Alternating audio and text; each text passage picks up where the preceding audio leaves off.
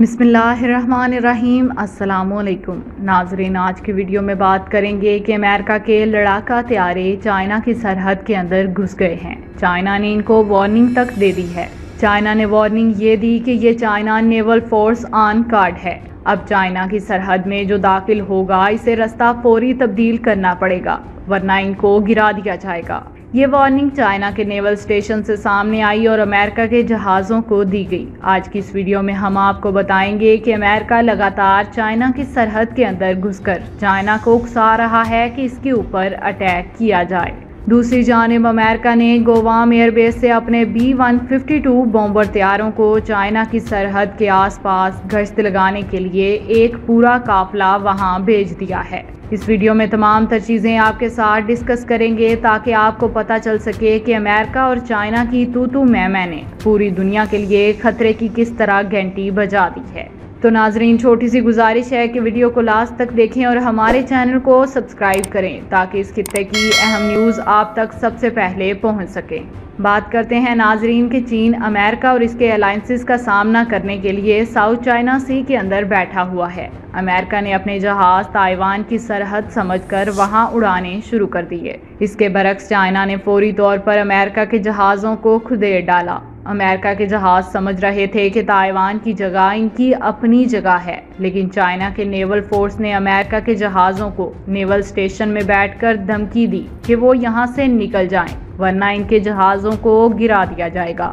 انہوں نے دھمکی یہ دی کہ China naval force on guard ہے۔ آپ چین کی سرحد میں داخل ہو چکے ہیں، اپنا رستہ فوری طور پر تبدیل کریں، ورنہ آپ کے جہاز کو نیچے گرا دیا جائے گا۔ ناظرین، یہ چائنا کی سیدھی سیدھی امریکہ کو دھمکی تھی۔ امریکہ نے فوری طور پر اپنے گوام ایئر بیس پر بومبر تیارے جو کہ یو ایس ایس ریگن کے اوپر تعینات تھے، ان کو بھی اڑانا شروع کر دیا۔ پھر اسی جگہ پر گشت بھی لگانا شروع کر دیا۔ جہاں پر چائنا نے امریکہ کے لڑاکا تیاروں کو کھدیڑا تھا۔ آپ کو بتاتے چلیں کہ امریکہ کے بومبر تیارے بی ون ففٹی ٹو کا پورے کا پورا قافلہ فلپین، تائیوان اور دیگر سرحدوں پر لگاتار قافلوں کی صورت میں گشت لگاتے ہیں۔ چائنا بار بار ان کو وارننگ بھی دیتا ہے۔ آپ کو بتاتے چلے کہ امریکہ کی یہ حرکت چائنا کو اکسا رہی ہے۔ چائنا کہہ رہا ہے کہ اگر امریکہ دوبارہ ہمارے علاقوں کی طرف بڑھا تو امریکہ کا جہاز سیدھا سیدھا گرا دیا جائے گا۔ چائنا نے امریکہ کا جہاز جس جگہ سے، جس علاقے سے کھدیڑا ہے۔ پچھلے ایک مہینے سے لگاتار امریکہ کے بومبر تیارے انٹرسپٹر تیارے، فائٹر تیارے، ایف ٹوینٹی ٹو اور ایف ففٹین جیسے ریپٹر تیارے لگاتار وہیں گشت لگا رہے ہیں۔ آپ کو بتاتے چلیں کہ امریکہ کا جو bomber تیارہ B one fifty two H ہے، وہ نیوکلیر ہتھیار ساتھ اپنے لے جا سکتا ہے۔ جب بھی اٹیک کرتا ہے، بہت زیادہ اونچائی پر جا کر کرتا ہے۔ زیادہ اونچائی کی وجہ سے بومبر تیارے ریڈار پر اکثر اوقات ڈیٹیکٹ نہیں ہوتے، لیکن چائنا کے پاس اتنی پاورفل ٹیکنالوجی موجود ہے کہ امریکہ جیسے بڑے ہواری کے جہازوں کو آرام کے ساتھ ڈیٹیکٹ کرے۔